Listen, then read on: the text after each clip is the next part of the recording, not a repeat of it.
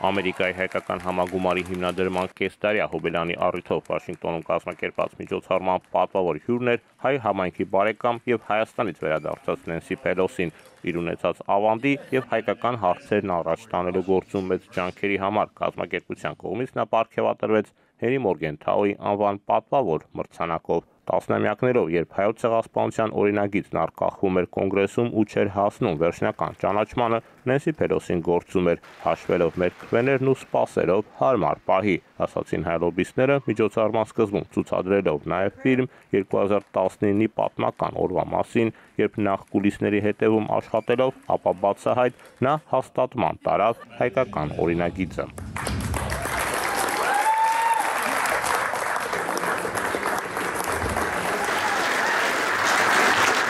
Ինձ հարցնում են, թե ինչպես ես սկսեցի հետաքրքրվել հայերով։ Նախ եւ առաջ Սան Ֆրանցիսկոյում ապրել եմ հիանալի հայ ազգաբնակչության հետ, որտեղ մենք միասին պայքարում էինք հայերի հետ պատահած անարդարության ճանաչմանը հասնելու համար։ Երբ 1988-ին Նենսի Պելոսին առաջին անգամ ընտրվեց կոնգրես, իր գրասենյակ թուրք լոբիստներն ուղարկել էին Օսմանյան Թուրքիայի մասին մի գիրք։ Կարոշչական հնարքը հակառակ ազդեցություն էր ունեցել հետագայում ամերիկյան քաղաքական Օլիմպոսի ամենավերին բարձունքները հասած գործի վրա, որը հայերի հետ պատահածին վաղուց տեղյակ էր։ Հայոց ցեղասպանության թանգարանը Երևանում այցելելուց հետո ինձ համար պատիվ է ստանալ Հենրի Մորգենթաուի անվան մրցանակը։ Նա 20-րդ դարում բարոյական ուժի հսկաներից էր, որն առանց տատանվելու ահազանգ հնչեցրեց հայոց ցեղասպանության մասին։ Ես այս մրցանակը կներկայացնեմ Կապիտոլիումի բարձունքին, որպես մեր ժողովուրդների միջև բարեկամության հպարտ խորհրդանիշ։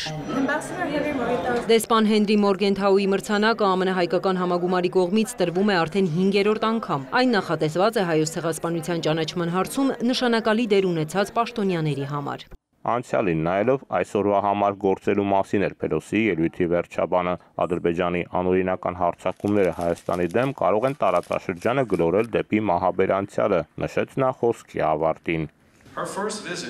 Որպես Հայաստան այցելած ամերիկյան բարձրագույն պաշտոնյա, որն ինչպես կոնգրեսականն ասաց ավելի շատ իրադարձություններ, քան պարզապես այց, դուք օգնեցիք զսպել Ադրբեջանի կողմից լարվածությունն ու դրանով փրկեցիք կյանքեր։ Այցի կարևորությունը գիտակցում են նաև պատվիրակության կազմում եղած կոնգրեսականները։